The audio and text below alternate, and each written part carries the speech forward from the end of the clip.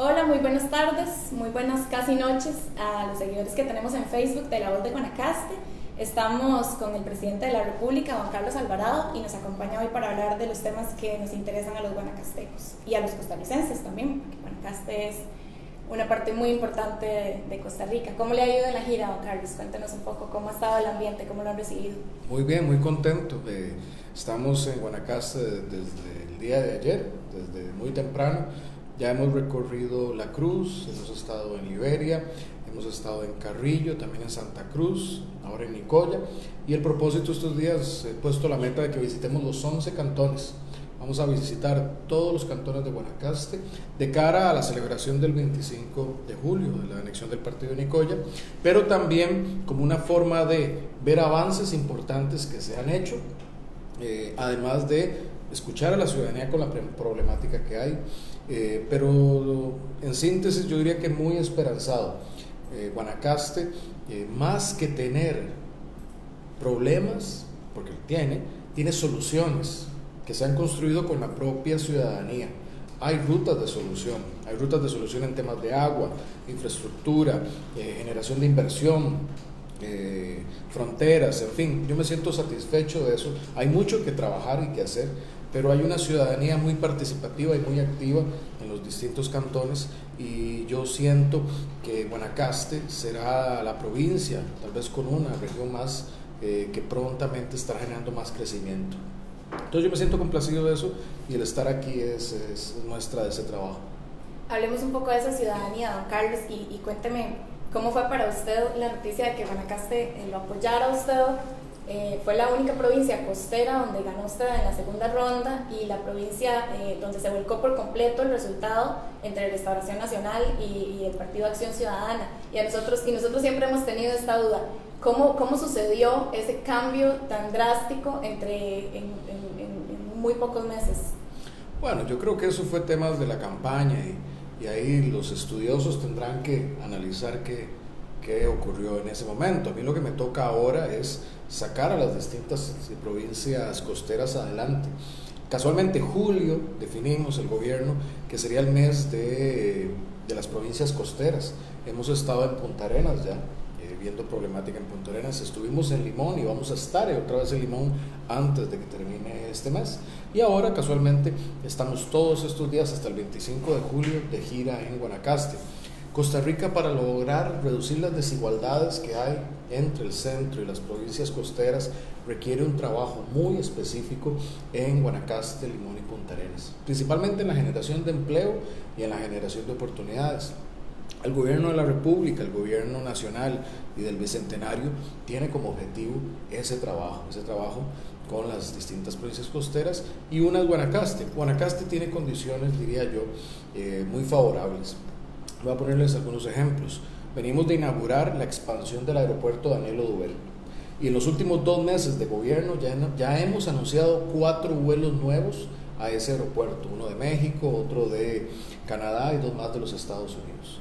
Eh, con esa expansión significa muchos más turistas y muchos más negocios que vendrán a toda la provincia. Y además, esos vuelos que llegan al Daniel Oduber visitan la región Chortega y al menos dos regiones más del país. Es una riqueza que se distribuye. También eh, pusimos la primera piedra de eh, la Coca-Cola Company que está haciendo en Liberia la la planta de concentrados. Es una inversión de 50 millones de dólares. 50 millones de dólares que una de las empresas más consolidadas del mundo pone en Liberia para una operación que es regional. Eso significa que están apostando en confianza en la región y en Costa Rica. También hemos entregado tres acueductos en la Cruz, eh, obras de reparación después del huracán Otto, lo que significa que en la Cruz y en general en la provincia hay capacidad de reacción este tipo de eventos. Estamos muy cercanos a votar el proyecto de agua para Guanacaste, de Pacume, y esperamos que el día de la mañana los diputados y las diputadas finalmente den la votación en primer debate de este proyecto para hacer todo el proyecto de agua para Guanacaste. Hemos estado Don Carlos, déjeme interrumpirlo ahí para Por favor, si no, si no sigo hablando yo. Sí, sí, hablemos un, un, poco de este tema de Pacume y de agua para Guanacaste, porque definitivamente es un tema que le interesa muchísimo a los guanacastecos. Y mm, Cuénteme ¿cómo se van a organizar para que esa, ese proyecto que va a traer agua para Guanacaste, que es un proyecto grande y que, y que promete darle agua a los agricultores y también de consumo humano, para que se consuma de la manera correcta? Porque una de las mayores preocupaciones es, ok, vamos a abrir las compuertas otra vez para que entre toda el agua eh, e inunde, digamos, los cultivos como se está haciendo hasta el momento, o vamos a tomar medidas para que esa agua se utilice de manera correcta y de manera consciente. Eso es lo que nosotros no hemos encontrado en Bacume todavía. Es una tarea que tiene que llevar adelante ciertamente el Ministerio de Agricultura, Senara, pero también la ciudadanía. Eh, recuerdo cuando hace años atrás la discusión era hacer o no el proyecto ya dichosamente estamos en la etapa de hacer el proyecto. Pero la discusión hasta ahora está derivando en, bueno, cuál va a ser la mejor utilización de ese proyecto, cuáles serán las tierras irrigadas, cuál será la participación de los pequeños agricultores, del consumo humano y otros. Ahora, esto si bien tiene una gran competencia del gobierno en el Ministerio de Agricultura y en Senara, tiene que tener una gran participación ciudadana y una gran participación de los guanacastecos y las guanacastecas. Son la ciudadanía de la zona que se, verá beneficiada por el proyecto la que debe tener las determinaciones en gran medida de esto. Eh, a mí el mensaje siempre me lo dio la gente en Guanacaste.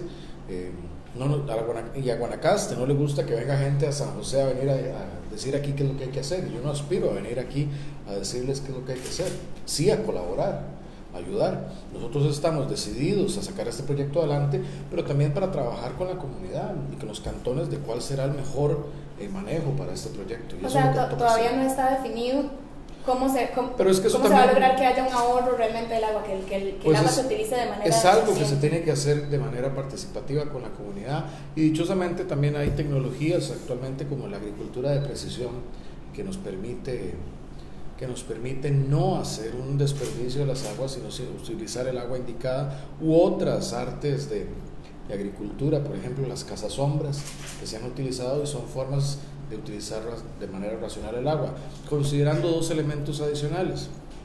Estamos en una zona que se ve sujeta o a inundaciones o a sequía. Entonces, el uso adecuado del curso hídrico para irrigación o para el consumo humano es clave. Eh, y eso hay que hacerlo de manera participativa. Es una de las grandes enseñanzas, con mucha participación ciudadana, que se deben tomar esas decisiones. Una tarea pendiente que quedó del gobierno pasado fue el tema de la ley de aguas. Y esta ley vendría eh, a limitar justamente las, formas en las que el agua se usa de manera ilegal, porque en este momento las multas son, es más caro cobrar una multa que la multa misma. Eh, esta ley de aguas todavía no ha pasado y de hecho se declaró inconstitucional eh, el año pasado, pero es súper importante que en Guanacaste se regule la forma en la que se consume el agua. Viene un proyecto grande que va a traer más agua a Guanacaste, pero todavía no se le, han puesto, no se le ha puesto una regulación específica para que se consuma el agua de manera responsable. Esas dos cosas generan una preocupación y una tensión ¿Se va a redactar un nuevo proyecto de ley en, en, su gobierno para regular el agua en, en, el país? Bueno, eso viene del tiempo del proyecto de iniciativa popular que fue presentado y ha llevado su trámite por creo que más de una década y el último esfuerzo, en efecto, la Sala Constitucional eh, señaló que no era que no era oportuno por distintas razones.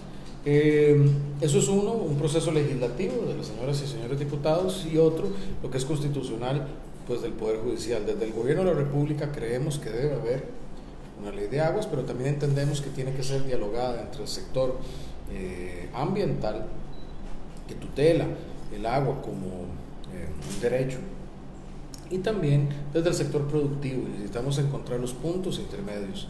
Nosotros estaremos apoyando que se avance en una ley de aguas, pero como ejecutivo no somos los primeros actores en eso, son los diputados y diputadas llegando a acuerdos importantes. Creemos que se tienen que llegar a esos acuerdos. En lo que corresponde al Ejecutivo, tenemos que trabajar, por ejemplo, en todo lo que son temas de pozos, que es muy importante aquí en la región. El tema de los trámites para hacer los pozos, eh, su explotación adecuada, la agilidad de los trámites, pero también una buena fiscalización para que no se haga un una sobreexplotación de estos mecanismos y son de los retos que tenemos por delante. También como Ejecutivo estamos comprometidos con los proyectos de infraestructura como lo son el acueducto en Carrillo, en Sardinal u otras obras que garantizan el, abastecimiento. En, en, Facebook nos preguntan sobre Pacume. Esteban Barquero pregunta si harán públicos los estudios que indican cuánto se usará para consumo humano versus consumo industrial. Bueno, yo le tengo que decir que no conozco cuál es la extensión de esos estudios. Yo si bien presidente de la República, no soy experto en materia de, lo que lleva a Senara. Yo me puedo informar sobre esa materia. Sé que hay mucha preocupación, y eso lo he rescatado de esta visita. Antes la gran preocupación es que se apruebe el proyecto, que se apruebe el proyecto. Ya que estamos en ciernes de aprobar el proyecto, ya me, la ciudadanía se me ha acercado con otras preocupaciones cuál va a ser la distribución, cuál va a ser el trazo, cuáles propiedades se van a ver afectadas, si va a haber acceso para todos o solo para unos, eh, cuál va a ser el caudal, en fin, una serie de preocupaciones que le tengo que ser sincera, yo tengo que conocer más de esa materia. Eh, pero bueno, por eso digo, es la ciudadanía con participación la que tiene que ayudar también a que esas válidas preguntas sean evacuadas. Hablemos de un tema que yo estoy segura que usted es la única persona que nos puede contestar y es que el año pasado el proyecto, el proyecto Discovery llegó, llenó de ilusión a muchos guanacastecos, pero no se ha movido de ese punto de la ilusión que tuvimos. Y le hemos preguntado a todo el mundo qué fue lo que pasó, pero en realidad no hemos tenido una, una respuesta concreta. ¿Usted puede explicarnos por qué este proyecto está estancado? A ver, hay que dimensionar qué es el proyecto Discovery, qué fue lo que se planteó. El proyecto Discovery es un desarrollo entre dos privados. Son dos privados. Uno, los que son dueños de la tierra y un poco el capital. Eh, y dos, los que manejan la marca, llamémosle la marca o la franquicia Discovery, asociada al Discovery Channel. Y ambos eh, inversionistas en algún momento en el gobierno anterior eh, contactaron al gobierno diciendo que querían avanzar en, en esta dirección de hacer este, este tipo de emprendimiento. Eh, y bueno, y se hizo un anuncio. El desarrollo de ese proyecto corresponde a los privados. Es un proyecto que lleva la iniciativa privada tanto de quien tiene la tierra y el capital como de quienes en algún momento señalaron que querían poner eh, esa marca o ese distintivo al proyecto. Eh, el gobierno de la República no es, digamos, el encargado de llevar adelante esa iniciativa privada. Pero sabe, sabe, sabe, qué pasó? Pues lo que sé es que eso está, está como se presentó, no, hay, no ha habido un avance. Eh, pero corresponde a los privados ser los que determinan el desarrollo de eso. No es el gobierno de la República, por decir así, como un proyecto como Pacume. O, es como el anuncio ahora de la de la Coca-Cola, que es muy positivo. No estoy diciendo que la Coca-Cola dice vamos a hacer esta inversión y nos participa porque si bien el gobierno ayuda con temas de trámites, con temas de eh, agilidad, con darle seguridad a la inversión, pero es la iniciativa privada la que literalmente tiene esa iniciativa. Ahora, algo que sí le concierne directamente al gobierno y que tiene que ver con, con, la ley de territorios costeros comunitarios. Hay mucha gente en la zona marítimo terrestre muy preocupada porque eh, tienen la incertidumbre de que no saben si los van a desalojar o cuándo los van a desalojar. En este momento hay una moratoria eh, en el refugio de vida silvestre opcional para que no los desalojen, pero las comunidades lo que quieren es una certeza y están pidiendo eh, que se convoque en extraordinarias la ley de territorios costeros comunitarios. ¿Ustedes tienen planificado convocarla para agosto? El proyecto de ley recién aprobado lo que dio es una moratoria de 36 meses en los cuales no habrá desalojos, no habrá, entonces por ese plazo 36 meses no se ejecutará nada de eso. Y lo que haremos en los próximos 36 meses para los distintos territorios que están bajo esos regímenes es preparar eh, sea la legislación o la reglamentación adecuada. Ahora, aquí hay diferentes regímenes. Está lo que son fronterizos, lo que es zona marítimo terrestre, lo que es eh, zona silvestre, zona de protección, las islas y una diversidad de, territorios en esto. Yo considero que el abordaje debe ser eh, específico para cada una de estas modalidades. En lo que es particular del proyecto Tecocos, pues creo que lo que se necesita, y así será desde el Ministerio de Ambiente, es eh, el análisis para cada una de esas modalidades de cuál va a ser la solución. El ministro Carlos Manuel Rodríguez ha planteado que en esta administración eh, buscaremos, y yo lo he respaldado, dar certeza en las distintas modalidades, en lo que permite la Constitución y lo que permite la ley. Particularmente en lo, para las extraordinarias de agosto, aún no tenemos preparada la convocatoria, entonces sería, sería adelantar algo que no tenemos todavía diseñado. Em, esta, esta provincia, don Carlos, usted lo dijo antes muy bien, es una provincia de extremos. O nos inundamos o estamos o nos, o nos secamos. Em, si no nos golpean huracanes como Otto o, tormentas como Nate, entran sequías como la que, la que hubo entre el 2014 y el 2016. Y aunque en este momento la sequía no nos está afectando directamente, sí hay un criterio de que el cambio climático va a hacer que esta provincia sea cada vez más seca. Una provincia en la que dependemos de la hotelería, del turismo, dependemos de la agricultura y de la ganadería. En todos necesitamos agua. ¿Cómo se está preparando? ¿Puede decirnos medidas concretas en cómo se está preparando el gobierno para, para, las próximas, para los próximos embates del clima que ya están pronosticados? Bueno, por eso es tan crítico, uno, avanzar en los distintos proyectos de infraestructura eh, hídrica, los distintos acueductos, en los cuales se ha avanzado. La labor que ha hecho doña Yamila Astorga en los últimos cuatro años, así como el Senara, ha mejorado la capacidad de preparación que tenemos para eventos, sobre todo de sequía. Eso por un lado, y tenemos que seguir en esa dirección. Eh, vamos en la ruta correcta, pero falta todavía más. Por otra parte, desde el Ministerio de Agricultura eh, he pedido al ministro de Agricultura, don Renato Alvarado, que tenga listo ya un plan eventualmente para la sequía. ¿Por qué? Porque es un fenómeno que debe eh, de venir, como vino en el 2014, 2015, Costa Rica, si bien hubo pérdida de cabezas de ganado, no es ni por asomo lo, las pérdidas que hubo en otros países de Centroamérica que se vieron afectados también por el fenómeno del niño. Entonces, desde ya tenemos que tener las previsiones en materia de alimentación, de sombra, de agua, para los distintos sectores que se ven afectados. Entonces, principalmente es el, los temas de la infraestructura hídrica, que es lo más relevante, y estar preparados principalmente en el sector agropecuario para hacer frente a este tipo de eventos. Y en la parte de inundaciones es, tiene que ver más con la preparación en emergencias y resiliencia de las comunidades. Entonces, el, el, Ministerio de Agricultura y Ganadería va a tener un plan para, de adaptación para, para, la provincia. Eso es lo que yo he pedido al ministro de Agricultura, un plan, sobre todo pensando en eh, posibles impactos de cambio climático, sea sequía, sea inundación.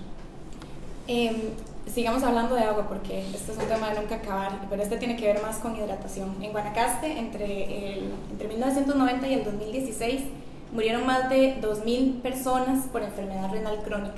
Es un padecimiento que según el consenso científico tiene un alto componente ocupacional, es decir, que se desarrolla después de haber trabajado muchísimos años bajo el sol y en condiciones muy extremas. Eh, nosotros los estuvimos visitando a las personas que, que padecen esta enfermedad a lo largo de dos años y nos dimos cuenta de que no pueden trabajar porque tienen los riñones enfermos, a veces trabajan así incluso, y que la pensión del Estado es bastante limitada. Muchos de ellos se quejan de que no existe una indemnización por parte del Estado ni tampoco por parte de las empresas en las que trabajaron. Eh, y ellos se preguntan y, están luchando porque existe una indemnización eh, para, que, para que ellos puedan ayudarse con los gastos que tienen que hacer, que muchas veces son muy altos y a los que no pueden hacerles frente. Eh, en su gobierno, ¿usted impulsaría que exista una indemnización para las personas con enfermedad renal crónica? Tenemos que hacer dos cosas en esa materia. Lo primero, tenemos que prevenir para no llegar ahí. Eso es una de las primeras cosas. Los cuatro factores de prevención tienen que ver con la hidratación en el trabajo, con la protección, con los adecuados aditamentos, tiene que ver también con el descanso y con la sombra. Y esas son esas cuatro recomendaciones son las cuatro recomendaciones de prevención para evitar la enfermedad crónica renal, que son eso, sombra, hidratación, protección y descanso. Eh, Pero en esa medida, don Carlos, el, el decreto que existe en este momento lo que hace es advertir a las empresas y a las compañías que le puedan dar descanso, hidratación, etcétera, a las personas que trabajan ahí. Lo que pasa es que no todas las personas, usted lo sabe, trabajan para una compañía formalmente, sino que muchas de ellas trabajan para un parcelero al que el INDER le dio un Pero de la misma forma las recomendaciones son válidas y por eso es que, siendo yo ministro de Trabajo, lanzamos la campaña sobre el estrés térmico para Ahora también hay otro tema, no tanto, no tantos años atrás, todavía de manera reciente, y todavía muchas personas asocian la enfermedad crónica renal, por ejemplo, con químicos en el agua. Antes se creía mucho que eran temas de químicos en el agua, ahora se señala cada vez más a temas del, laborales, del calor y ahora también del cambio climático. Hay que recordar que en esta zona la temperatura tenderá a aumentar, ya no a bajar. Habiendo dicho eso, eh, todavía se está investigando, y eso es algo en lo que la caja tiene que profundizar, en las universidades, todavía se está en proceso de investigación de la causalidad, es decir, de establecer una causalidad entre la enfermedad renal y el trabajo en el calor. Y ese es un proceso que está científicamente y que está avanzando rápidamente. Ese es el elemento, el elemento que se tiene que ratificar para establecer la causalidad y para poder, por ejemplo, trabajar en eventuales indemnizaciones u otro tipo. Pero por eso yo enfatizo hoy lo más importante es, por un lado, el trabajo en la prevención y por otro lado, para las personas que sufren la condición ahora es mejorar los servicios de la seguridad social, sobre todo en Guanacaste. Está muy identificado cuáles son los cantones que tienen la mayor incidencia de problemas de personas con problemas renales. Necesitamos entonces en Guanacaste mejorar esa atención. Entiendo ya hay eh, en el hospital de en Nicoya ya hay una unidad que tiene que ver con eso, pero siguen habiendo quejas de que todavía no es suficiente para atender a toda la, a toda la población. Eso es algo que tenemos que mejorar. ¿Va a haber entonces una directriz para que la caja investigue la causalidad? Los datos y lo que ha sacado el Ministerio de Salud sobre el tema es a partir de información proveída por la caja. De hecho, la, Costa Rica es pionero en esta materia. Costa Rica es uno de los primeros países que hace un decreto sobre estrés térmico y es uno de los primeros países del mundo que hace una campaña sobre estrés térmico vinculado con el decreto que mencioné y con el cambio climático. Entonces en eso estamos siendo pioneros. Tiene que continuar la investigación. La caja provee mucha la información, el Ministerio de Salud es el que como ente rector tiene que ratificar en ese sentido, pero es un tema que conocemos y en el que se está trabajando. Eh, sigamos hablando sobre derechos humanos, don Carlos, y esta es una de las provincias, y esto habíamos hablado cuando lo había entrevistado, cuando usted era todavía candidato, es una de las provincias, es la provincia con la mayor tasa de violencia eh, doméstica, y usualmente es violencia contra las mujeres. Eh, en aquel momento usted me había dicho que las medidas que se podían tomar era el fortalecimiento del INAM y también la capacitación a la policía para que pueda atender de manera inmediata a las víctimas para que no se conviertan en víctimas de, de femicidio. Eh, eso ya se está implementando, qué medidas se están tomando concretamente. Y este, yo quisiera que fuéramos muy específicos en Guanacaste, porque esta es la provincia en realidad donde se está sufriendo muchísimo más de este problema. Bueno, Patricia Mora, la ministra de la Condición de la Mujer, está llevando una iniciativa particular en materia de femicidios y la está llevando en las provincias de mayor incidencia, que son las provincias costeras, en, cuenta en, cuenta en Guanacaste. Casualmente mañana tendremos, eh, no, martes. Habrá una actividad del INAMU visibilizando un grupo amplio de mujeres con la cual se está trabajando en materia de formación humana y de prevención. Eso, y eso se está haciendo en la provincia y se ha ampliado la cobertura de esos programas y además doña Patricia está liderando el que se visibilice esta problemática. Con eh, don Michael, el ministro de Seguridad, hemos ampliado esto que se ha denominado mega operativos, es una modalidad de presencia policial en todo el país y con eso lo que estamos es impactando las cifras de, eh, de diferentes modalidades de criminalidad. Eso ha impactado los delitos sobre la propiedad, ha impactado, por lo menos en los últimos dos meses, cifras de homicidios. Hay que ver cuál es su impacto, por ejemplo, en temas de femicidios. Otra de las rutas para bajar esto, y que tal vez es la que no hemos hablado antes, tiene que ver también en la educación de masculinidad. Eh, porque no es solo la atención a las víctimas, en este caso quienes sufren la violencia de género, sea una, atención de una, de una, violencia por la policía o psicológica por el INAMU, sino que tiene que ver con ir a la raíz, que es cambiar estos patrones y estas conductas desde su origen. Y tiene que ver mucho con eh, la formación en masculinidad y las masculinidades. A mí me llamó la atención que, por ejemplo, en el Mundial, ahora en el contexto del Mundial, salió que los jugadores de la selección de Inglaterra llevaban capacitación sobre su masculinidad, porque, eh, pues porque hay veces que no les permitía expresar sus sentimientos de manera apropiada y se convertían más bien violentos y eso iba en contra de lo que el equipo quería que lograran. Entonces el equipo de Inglaterra tenía una coach en materia de mm. masculinidad. Pues bien, ese es el tipo de capacitación y ya desde el INAMU y desde Limas se está trabajando en esos tipos de capacitación en masculinidad para cambiar esos patrones también desde la educación, buscar una educación más desde la igualdad, desde el respeto y no desde una masculinidad que puede ser eh, que puede guiar a la, a la violencia de género. Un, un, tipo de violencia que también se, es, es, bastante presente en la provincia es la violencia sexual. Eh, en este sentido, Mariel Villegas en, en, Facebook, y gracias a todos los que nos han hecho comentarios y nos han hecho preguntas, pregunta que qué hay sobre la aprobación de la norma para regular el aborto terapéutico. Bueno, eso es una norma que está en estudio actualmente, corresponde al Poder Ejecutivo y corresponde a mí eh, hacer la firma eventualmente de la misma y en el momento que consideremos oportuno pues se procederá en ese, en ese sentido. Hoy yo lo que he dicho públicamente es que eh, mi principal esfuerzo está en el que creo que es el mayor problema que tenemos como país, que es el déficit fiscal. Otros problemas claves como la inseguridad ciudadana, como las mejoras en educación y estamos enfilando inicialmente, iniciando la administración, las baterías en esos en esas problemáticas. No obstante, yo tengo un compromiso que está plasmado en mi plan de gobierno y en mi acuerdo con Rodolfo Pisa en materia de la norma terapéutica. ¿Para cuándo podría entonces esperarla la gente? Para cuando yo determine que sea un buen momento. ¿Un buen momento político? Para cuando yo determine que sea un buen momento.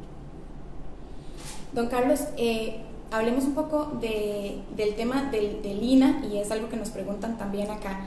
Eh, y el tema de la educación. Nos hablan sobre el, eh, mejorar horarios para poder acceder, a cursos y eh, hablan de que en, el INA, en, este momento, los horarios no combinan, no, no, no combinan con las capacidades que tiene la gente para estudiar y trabajar. ¿Cómo se va a mejorar en esa materia? El mandato que ha dado Andrés Valenciano, el presidente de Lima, de Lina, perdón, es tener horarios vespertinos, fines de semana, nocturnos, eh, para que la gente pueda ir, que amplíe los sistemas de becas para que las personas eh, tengan acceso a los cursos con tranquilidad de que tienen un sustento mientras están llevando su curso. También ampliar el tema de cuido para que si tienen algún menor o adulto mayor eh, en este sentido pueda asistir a los cursos. Y también he pedido que la oferta de cursos esté muy vinculada, por ejemplo, con, eh, con lo que pasa laboralmente en las regiones.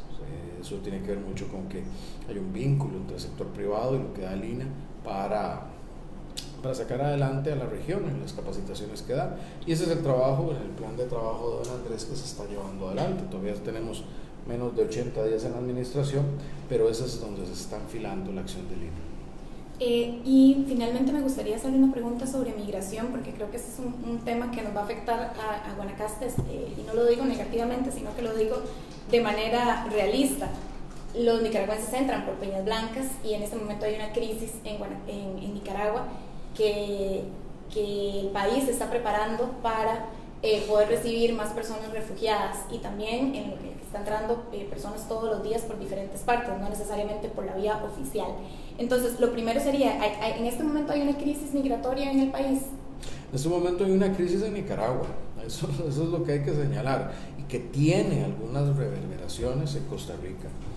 Crisis sería en Costa Rica si estuviéramos teniendo problemas humanitarios o personas que estuvieran teniendo problemas profundos de salud o de resguardo o de hambre o de frío o de violación de derechos humanos y ninguna de las anteriores es el caso.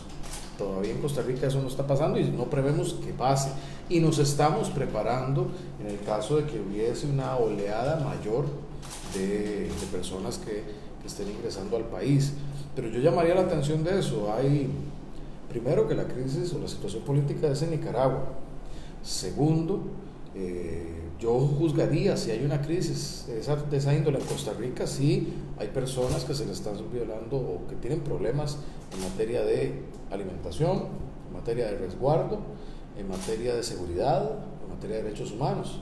Y ninguno de esos es el caso. Incluso personas que han llegado, muchas están o con familiares o con su red de apoyo otras con recursos propios están en alguna pensión o en algún hotel y los más vulnerables están en algún tipo de centro de, eh, de la Dirección de Migración, en la cual reciben atención, en los llamados CATENS. CATENS. Entonces, y esa es la situación, sí se ha detectado un incremento de las personas que han ingresado, sí ha habido algunas detectadas que han entrado heridas o con algún tipo de necesidad de atención médica, sí le estamos dando un seguimiento cercano y estamos eh, previendo lo necesario en caso de tener que ampliar la, la asistencia la operación. Pero yo eh, lo que diría es que Costa Rica está atenta y siguiendo el pulso a la situación. No creo que sea conveniente en este momento querer gritar una alerta de crisis o de crisis cuando lo que hay que estar es enfocado en observar la situación y atender lo que va ocurriendo y prepararnos para los distintos escenarios. Eso es, lo, eso es, lo, seguro que hay que hacer. Cuando nosotros publicamos la nota de los CATEMS, mucha gente nos comentó en Facebook y lastimosamente muchos de esos comentarios eran muy racistas y xenofóbicos y, y hablaban muy mal de, de que las, las, personas nicaragüenses estuvieran entrando al país. Eh, ¿cómo, ¿Cómo podríamos prevenir la xenofobia en contra de estas personas que necesitan de Costa Rica en este momento? Ese es un reto, un reto que hay en, en Costa Rica y en el mundo actual, que es la xenofobia o el nacionalismo exacerbado. Eh, yo no, no, no, preveo que ese fenómeno en el corto plazo vaya a desaparecer y yo lo veo muy presente y muy vivo todos los días en las redes sociales. A mí me piden muchas veces, a veces, no deje entrar a personas de tal nacionalidad o deshágase, cuando eso sabemos que está claramente en violación de los derechos humanos. Eh, yo creo que lo importante es que poco a poco, aunque sea una tarea difícil, tenemos que educar sobre este tema. El mundo actual es un mundo de las migraciones. Costa Rica depende del trabajo migrante, por ejemplo, en muchos de sus sectores, agricultura, seguridad privada, servicio doméstico. Costa Rica necesita del trabajo extranjero, nuestra economía. Nuestra economía también, por ejemplo, necesita de los procesos migratorios o los procesos de visitación turística para generar divisas. Nuestro país recibe muchos migrantes en el sector, por ejemplo, de eh, jubilados que se vienen a retirar y generan muchas. Entonces yo creo que hay muchos mitos en esto. Sí, ciertamente hay personas que han venido del extranjero y que han eh, entrado en la actividad criminal. Y de ahí el que tengamos que tener una política migratoria inteligente, de registro, de seguridad, pero también de derecho humano. También ha venido mucha gente que ha venido a hacer mucho, mucho bien. Y otra cosa que hay que decir es, la gente prevé que cuando hay ingreso de personas lo que va a haber es una gran demanda y presión en los servicios, lo cual puede ser el caso en algunos, pero lo que demuestra la experiencia y los estudios es que el ingreso de flujos migratorios lo que hace es hacer una expansión en la demanda. Es decir, también mucha más gente consume, mucha más gente requiere de, comprar cosas, requiere servicios y eso más bien puede dinamizar una economía. Y eso es una gran discusión que se abre, eh, que yo pues no pretendería cerrarla en una sola entrevista. Lo que quiero decir es que es un tema complejo, es un tema complejo en el cual tenemos que actuar como país, creo yo como hemos venido actuando, que somos un referente en la materia eh, y hacerlo de manera, de manera responsable. Don Carlos, eh, para darle seguimiento al INA, también nos preguntaron si, hay, si existe la posibilidad de, fortalecer el INA trayendo una sede para Nicoya.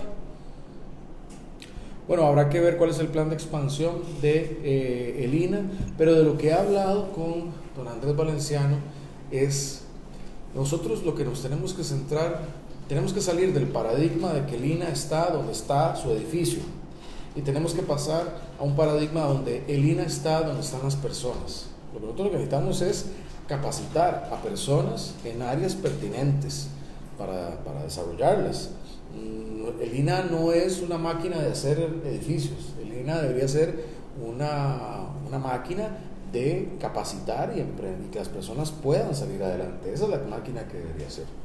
Los mecanismos de, por ejemplo, de subcontratación del INA han sido subutilizados. O sea, se podría haber capacitado muchísimas más personas o haciendo alianzas con estratégicas que no necesariamente se ha echado mano. Y nuestro centro y nuestro foco es en los estudiantes y las personas, que ampliemos la cobertura del inglés, que ampliemos la cobertura de capacitación, que lleguemos primero a las personas que más lo necesitan y no a las que más fácilmente pueden llegar al INA. Eso es un gran reto. Hoy se capacita no tanto a quien más lo necesita, sino a quien más fácilmente puede llegar. Entonces, ese es el tipo de el cambio de paradigma que le he pedido a, don Andrés, a don Andrés Valenciano, perdón, y eso es lo que estaremos esperando resultados. Yo daría empezar a ver resultados siendo realista, en el próximo año. Tenemos dos, meses de estar trabajando en esa dirección.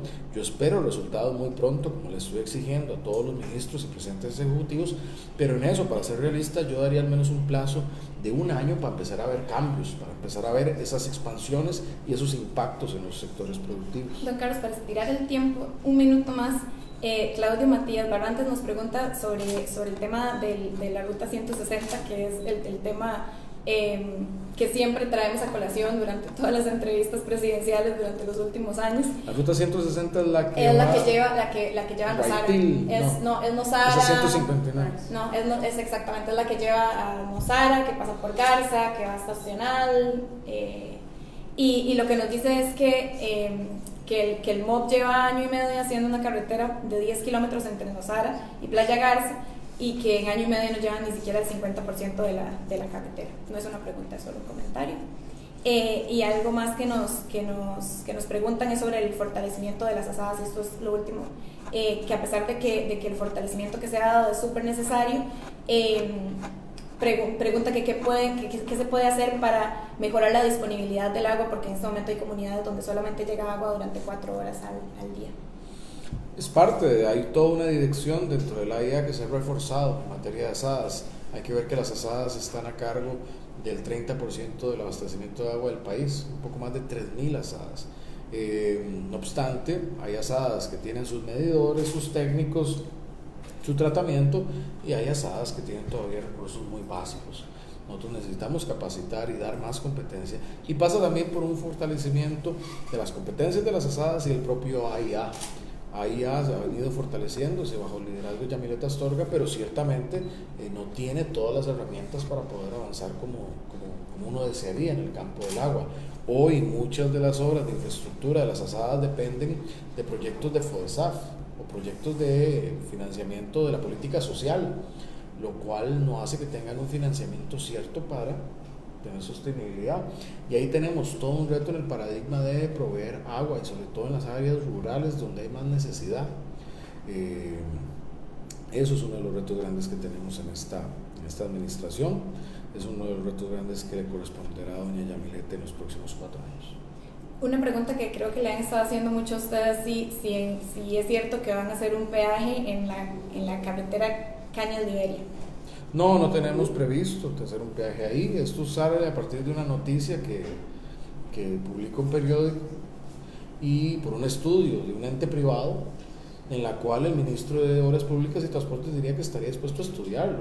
Pero eso no quiere decir que, no, estamos previendo tener un peaje en eso. Eso tiene toda una serie de condiciones. Eh, eh, pero no, no está previsto, por lo menos de parte de nuestro gobierno de, iniciar eso como una de las opciones. Más bien lo que estamos es enfocados en los contratos para ampliar la ruta de Cañas hasta Barranca y ojalá conectándola con la ruta 27. Eso es lo que estamos enfocados. Don Carlos, muchísimas gracias por acompañarnos hoy y por responder algunas de las preguntas que tenemos los guanacastecos y creo que hay algunas tareas que, que se quedan por ahí pendientes también. Y muchas gracias a ustedes también por acompañarnos, por acompañarnos hoy. Buenas noches. Buenas noches, gracias.